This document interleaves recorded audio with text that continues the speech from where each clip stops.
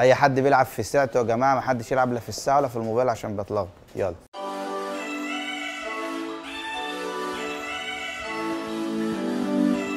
فنان آسر ياسين يا جماعة طلع الأيام اللي فاتت في تصريحات تلفزيونية وقال إن 2020 كانت سنة صعبة عليه قوي يا جماعة لدرجة إن مراته سافرت أمريكا عشان تولد هناك. يعني آسر ياسين بيقول كانت سنة صعبة عليه قوي ورغم إن مراته راحت تولد في أمريكا. مش عارف ياسر ياسين امال لو كانت مراتك راحت تولد في مستشفى أم المصريين ولا في حميات امبابه كنت عملت فينا إيه؟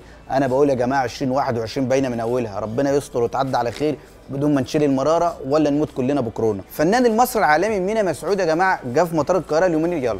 بلاش جه في مطار إيه جه في مطار القاهرة ده؟ يعني إيه ما جه مطار القاهرة؟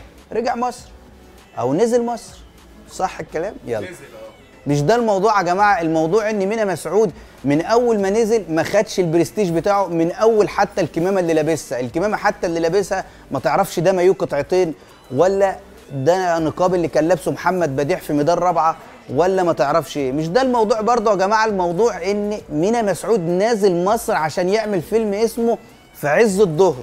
طبعا مع نجم هوليود الأول محمد علي رزق ونجم بوليود محمد عز. طب يا جماعة دلوقتي هل الفيلم ده لو اتعمل واتعرض في السينمات المصرية هل هينجح؟ لأن اللي بشوفه يا جماعة إن الجمهور المصري في الشارع ما يعرفش غير واحد أجنبي بس يا جماعة هو الألماني محمد رمضان. غير كده ما يعرفش. تقول لي مينا مسعود؟ أحمد مسعود؟ لا مش هيعرف حد. الفنانه رانيا مسعود والله رانيا يوسف بتعكر أول ما أجيب صورة. لازم بعدها أحرق في سجاير أول ما رانيا يوسف تطلع لي كده في الأخبار. لازم أحرق سجاير بعدها. لازم أقعد أحرق في سجاير الواحد أعصابه بتبوظ والله. معلش يا شادة بس السيجارة دي على طول. السيجارة دي السيجارة دي. لازم الواحد لازم يظبط بسجاره عشان بتعكر والله بتعكنن. ودي بتاكلها بتاكلها ولعه ولا بتاكلها نيه ولا بتعمل إيه؟ آه. فنانة رانيا يوسف يا جماعة قلبت ال social media الفترة اللي فاتت كعادتها بعد ما اتكلمت مع المذيع العراقي نزار الفارس على مؤخرتها.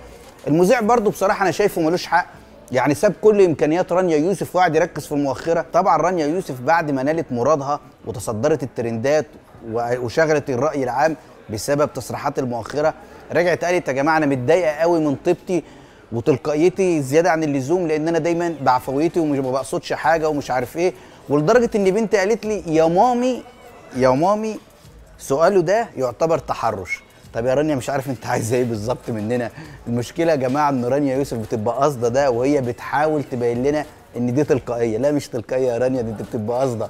المهم يا رانيا بما إنك تلقائية كده طب خدي بالك بقى الأيام الجاية اوعى حد يشربك حاجة صفرة في كوباية ويقول لك تعالي أوديك البابي ولا مامي وياخدك يقلعك الحلق. اوعي تصوتي في الشارع وتقولي الحقوني الحقوني يا بابي هيخطفوني يا بابي هيخطفوني يا بابي. والمشكلة أصلا أنا من المذيع عش مش عشان السؤال عشان ساب كل الإمكانيات التانية وركز في اللي والله عيب.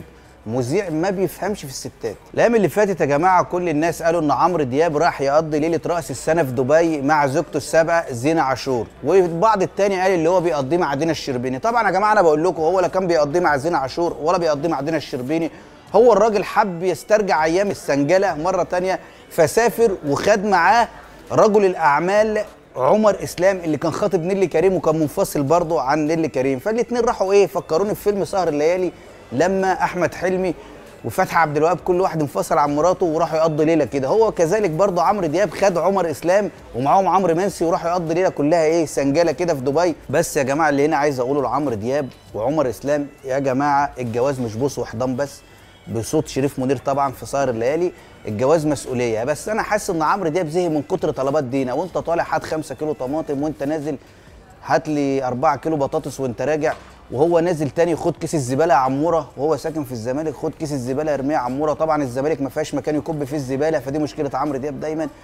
المهم عمورة لازم تاخد بالك الفترة الجاية. آه يا عم ولا إيه؟ ما هو الواحد حت... ما أكيد هتقول له إيه؟ خد كيس الزبالة وأنت نازل. عندي خبر يا جماعة مش عارف هيبقى حزين ولا سعيد بالنسبة للشباب المصري إن كيم كارديشيان يا جماعة أخيرا هتنفصل عن زوجها مغني الراب كاني ويست. ده طبعا بعد تبادل الشتائم والاضطهادات الفترة اللي فاتت بعد ما كاني ويست جرب يخوض تجربة الانتخابات الرئاسية في أمريكا. طبعا هو فشل طبعا وعلق فشله على كيم كارديشيان إن هي السبب في إن هو ما ياخدش أصوات كتير. أنا بقول لكيم كارداشيان أنا شايف بقى كيم كارداشيان أخيرا بقى يبقى في نظرة للشباب المصري. الشباب المصري بيقدر الحاجات اللي دي وأكيد هيكون في تقدير كبير ليكي في مصر من الشباب المصري. لكن كاني ويست لا مقدر اللي أنت فيه ولا مقدر إمكانياتك ولا مقدر أي حاجة. يا كيم لازم نظرة للشباب المصري. الشباب المصري حتى اما بينفصل ما بيعملش زي كاني ويست. الشباب المصري أما بينفصل كبيره بيجرجرك في محكمة الأسرة والآخر بيرجعك عادي كأن مفيش حاجة حصلت من البداية.